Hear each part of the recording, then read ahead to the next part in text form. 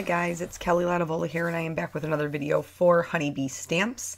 Um, today I'm using a couple of different stamp sets that are from um, the newer release, the Chin Up Buttercup stamp set and um, then I use the scallop card frames as well. Um, the Chin Up Buttercup, I also use the dies that coordinate with it. I thought I was going to use some other things. I had a whole different card idea for when I first went into this, the little bitty patterns, um, but that is not what ended up happening here. So I did, I cut out the largest um, card frame, the scallop card frame, and you can see I ripped my paper a little bit, but I was already planning on covering it up, so I'm not even sweating it. We're just moving on to the next step.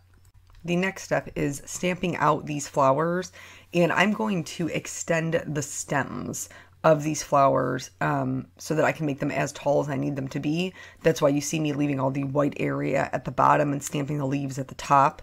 Um, that is intentional. So I'm stamping an intense black ink from Simon Says Stamp uh, because I am going to be doing some coloring with Copic markers. Um, so I'm just going to stamp these down. I love the MISTI for this, for just stamping everything all at one time. It's amazing.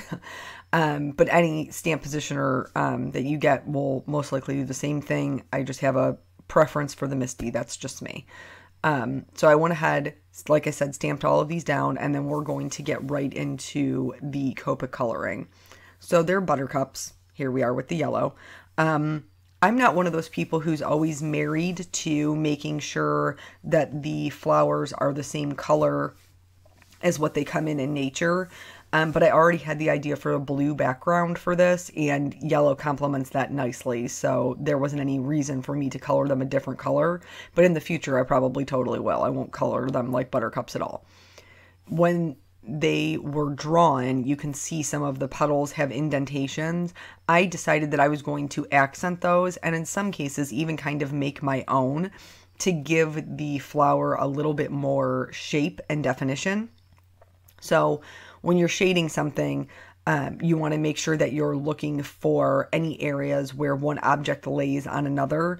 So anytime you see another another petal tucked behind uh, one that's on top of it, there's going to be shadows there. There's typically usually shadows at the base where it meets the center of the flowers. And then, like I said, you can see me adding very little flicks of color. It doesn't take a lot of color to create a lot of dimension.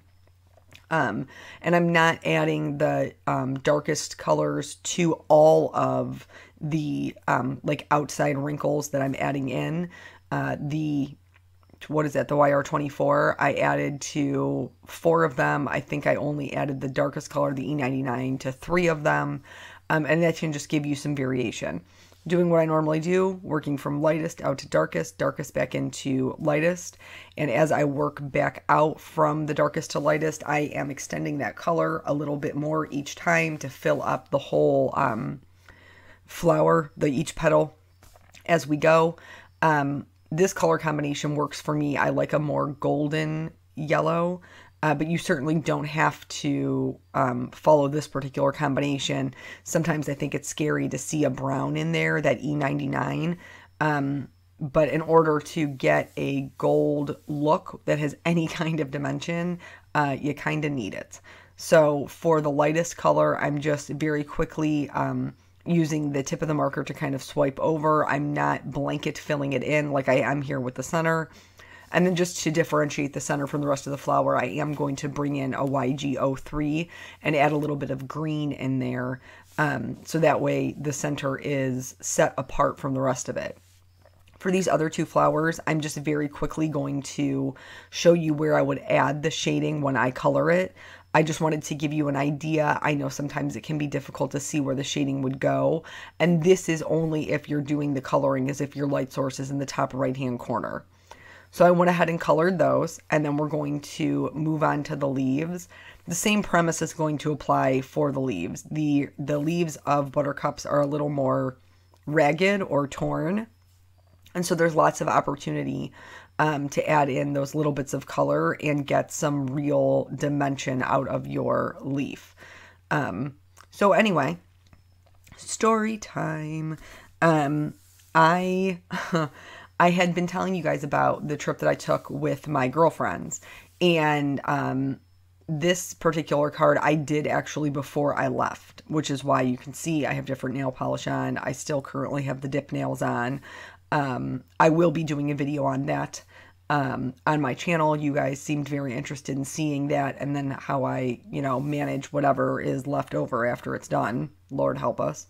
Um, but so one of the things that happened, um, basically what we did was we flew down, we hung out, and then we rented a house. Um, so the first night I wanted to see my, I call her my Florida mom. Um, that's that's Dawn's mom, and I hadn't seen her in two years, and so I wanted to see her, and so that's why I went down on Friday. Saturday we we started running a house, and then we stayed there the rest of the the time. So the first night that we went, um, that we went down there, and there was four of us and um, so we went down there, we get the keys. The house is beautiful. It's got its own pool. Like, so excited to just be somewhere that I can sleep if I want to sleep or pool if I want to pool. And I don't have to be responsible for anything or anyone um, but myself. Um, so then we went to the grocery store. Now, I don't know if you have ever done a girls' weekend or something of the like. Um, Holy Grocery Shopping Batman. Uh, here I'm outlining all, so the coloring's done, and I'm outlining all of these um, using a Copic Safe pen. Uh, I just like a bold black outline, but in this particular case, we're also going to eventually use it to extend the stems, which, uh, though my stories apparently are very interesting, is actually the point of this video. Um, white gel pen, little dots, highlight those stamens, set them apart, give us some dimension. That's that before I get back into the story, I need to make sure of what I'm doing. I'm going to stamp the sentiment and then I'm going to use the coordinating die. By the way, I love this font. This Buttercup font is adorable. I this says chin up Buttercup, but in regular life I usually say buckle up Buttercup, um, which just means like whatever it is you need to you need to get ready. You need to prepare yourself. Um, but anyway, so we we went to where did we go? I think we went to Publix and um, if you have ever seen hungry women just unleashed on a grocery store, I mean, we started off with like, we'll just need, you know, some bread and peanut butter and it'll be fine. We ended up with, no joke, just an absolute cart full of things. Um, stand by, card instruction. Um, so here you can see that I have the dies in place and I wanted to show you how I'm going to, I'm going to lay it just like this so that the edge is not covered by my cutting plate and that way, when I run it through, there won't be any pressure on the edge of that stem. And then I'm going to, you know, pop them out of the dies and you can see that they're all still connected. From there, I'm going to take that same pen. Now, I like to start with a smaller, don't mind my head, I'm sorry, I had to see what I was doing. Um, I'm starting with a smaller nib on my pen. So that way I can adjust the thickness to match up with the, the stamp that's already there. This one on the right is curved. I'm going to have to freehand it instead of using a ruler. It's not terribly difficult. And like I said, if you start with the smaller nib, you can um, make adjustments to make sure that it lines up. With that last one on the right, you can see it got thicker at the bottom. I wish that I would have drawn it differently. I didn't. Decisions were made. Um, but I, I would have wished that I would have kept it thinner. And then I'm just going to use my scissors to um, cut these out, keeping that white uh, border intact so that it looks like it is still part of the same die cut. And I'm just going to cut all of these out. So anyway, back to this grocery store. So we're basically running all over the place like chickens with our heads cut off because, you know, we were like down the bread aisle and then we'd be like, we need cheese. We need, yeah, prosciutto. We need fresh fruit. We need, and like the whole time, my girlfriend Dawn is like, "What? like, guys, what are what are you doing? Like, we're not going to eat all this food. We're not going to eat all this food." Um, and then this is the best thing ever. So this woman, I love other. I mean, I just love women um, that empower women. But she she was fantastic. Um, anyway, so we're like we just this cart is just overflowing with like potato chips and chip dip. Um, like we've got fruit for when we're feeling like healthy, and then we've got like 2 a.m. just got home from the bar snacks like, um, and so we're pushing the cart through. She comes through. She's an older woman. She's probably I don't know in her 60s. So this is the original background that I originally came up with, like those those bitty patterns I was telling you about. I didn't love it. It was too busy. So instead I opted to do just a very um, simple distress oxide background. This is broken china. I'm just going to add shading from the bottom right hand side and let it fade up and then I'm going to flick on clean clear water. I'm still working on Neenah, so not a lot of water because this is not watercolor paper.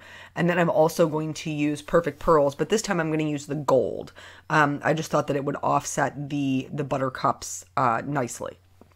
So anyway, this woman, I don't know, she's maybe in her 60s or 70s. She's got on shorts and like galoshes. Um, now, mind you, we were in Florida. It was like 90 five outside. I'm sure her feet were just sweating to death. Just they were must have been dying.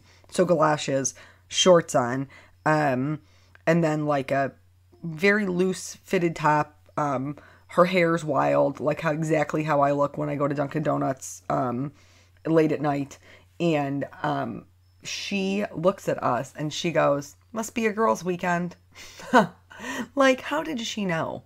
Like, did she just take one look at the cart and be like, mm, yeah, you guys aren't going anywhere for a long time? So even though Dawn was giving us a hard time about all of the things that we were purchasing, we she is correct. We did not eat everything, but we did eat quite a bit um, of it. I was super happy at lunchtime every day to be able to like make a sandwich and eat grapes and cheese sticks. Um, I was also super happy when we came uh, back from going out to be able to eat some Doritos and uh, French onion chip dip, which is delicious, by the way. If you've never done that, try it. You won't be sad at it. So the background was cut slightly um, smaller than the actual scallop frame. And then I just glued that in place. I'm getting my placement together for these flowers. This buttercup, uh, the um, script buttercup, is pretty large.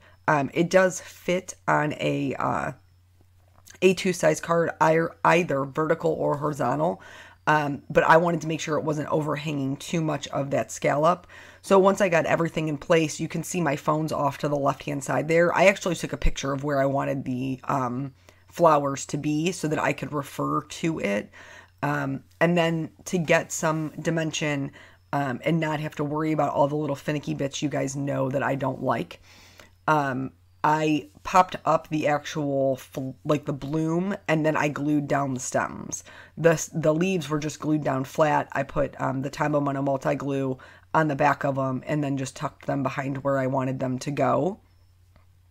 Um, and then after when I put this one down, um, this the curved one, uh, the bottom of the stem was overhanging um, just a little bit, just a teeny tiny little uh, little bit. And I also didn't push it down completely all the way because I had to get this leaf back there behind it. Um, once that was good, then I'm just going to pick it up and I'm going to trim off uh, that little bit of the stem, just that little teeny tiny bit. I'm going to put the uh, buttercup on as well, also with um, foam tape because I love I make simpler cards, I make more clean and simple designs, and I do love a one layer card. But there's something about adding a little bit of um, raised dimension in your card design that can really take something that um, is relatively simple and kind of bump it up a notch. So, anyway, our grocery store venture um, was fantastic. I'm not mad at all about any of the things that we bought or any of the things that I ate like a last minute addition was like some apple fritter things from the bakery because who can walk through the grocery store bakery without grabbing something, right? So Melissa grabbed those and I think I ate I don't know, I think I ate like 3 of them honestly, but it's a vacation and so like I'm not to be sad about it. I also learned that I really like those drinks mixatives, like those little teeny tiny drinks mixatives. They're delicious that you just pour in a bottle of water. Yeah, do those as well. So anyway, that is the whole card. Thank you guys so much for joining me, and I will catch you on the next video, which will be sooner than you think. Bye.